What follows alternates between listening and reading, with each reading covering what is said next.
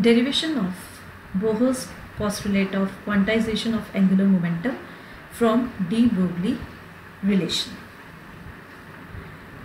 Now what is there? Consider an electron which is moving around the nucleus in the form of a wave in a circular orbit of radius say r. So if it is moving in a circular radius of orbit r, the wave train of electrons must be continuously in phase. What it should be there? It should be continuously in phase. So what is continuously in phase? In phase means that there should be regular series of crust and trough in a circular orbit. So this is in phase, this is out of phase. Here this crust and trough they are not in regular series. So in order to have continuously in phase the circumference of the circular orbit circular orbit which is given by 2 pi r it must be an integral multiple of the wavelength. Otherwise wave would interfere destructively and cancel each other.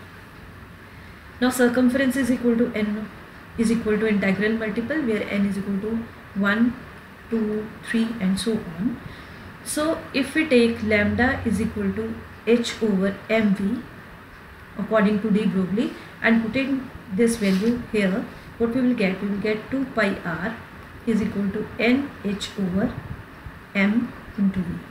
Now take this mv here.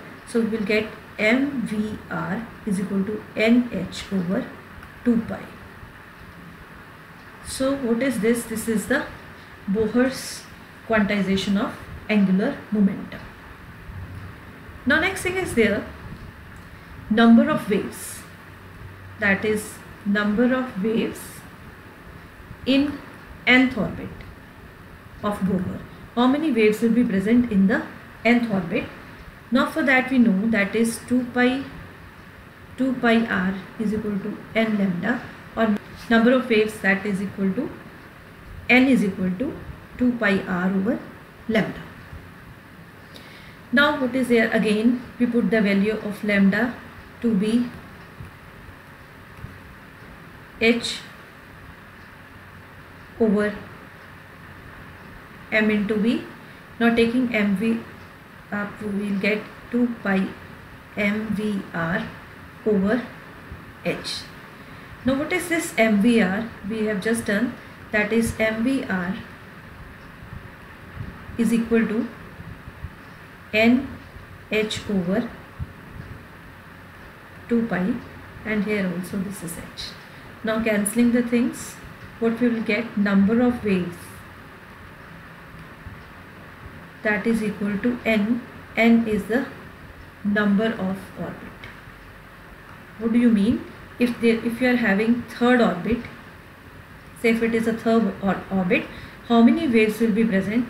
That is a three waves will be present if it is second orbit how many waves will be present there will be two waves so number of waves present in nth orbit that will be equal to n. Now this de Broglie relation that is not applicable in the daily life. Why we don't consider that we are having particle as well as wave nature? Because here what is there? Lambda is equal to h over m into v.